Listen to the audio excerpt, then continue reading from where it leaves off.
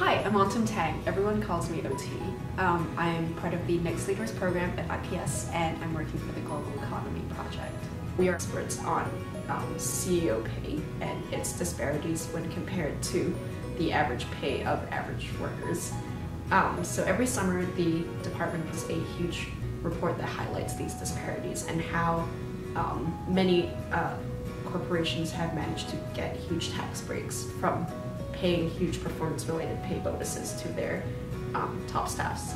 So I'm currently a rising senior at Colgate and I am double majoring in political science and international relations as well as minoring in economics.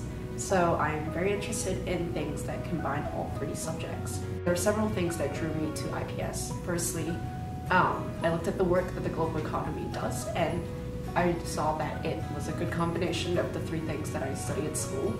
Um, and secondly, you know, I really, really wanted to apply to IPS because I like being surrounded by a lot of young, driven people.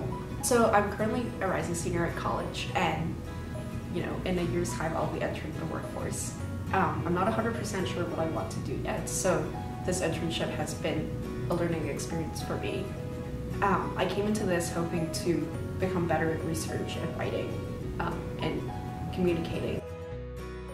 In addition to my work at IPS, um, all the Next Leaders interns get to go to all these workshops and that's something I've really enjoyed. I think that that makes my internship experience more than just an internship.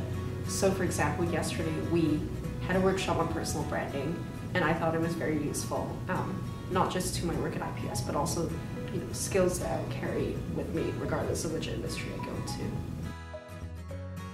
Working at IPS um, has been is my second internship in terms of issues of uh, global financial issues, and I think that that's a direction that I might want to pursue after uh, graduating from college. There's so much time invested in a lot of meetings and bondings, and I just feel like this is a community where people really um, talk to each other, they care about each other, and I really appreciate that.